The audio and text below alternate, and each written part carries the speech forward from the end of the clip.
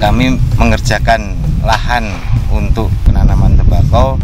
Untuk saat ini memang sudah sedikit kerepotan kalau kita mengandalkan tenaga manusia karena dengan perkembangan zaman sekarang tenaga manusia sudah jauh berkurang sehingga solusi dari petani seperti saya adalah e, mesin-mesin modern termasuk dari produk buik cakar baja ini. Karena dengan adanya cakar baja kita bisa mempersingkat waktu penggarapan. Semua quick semua hebat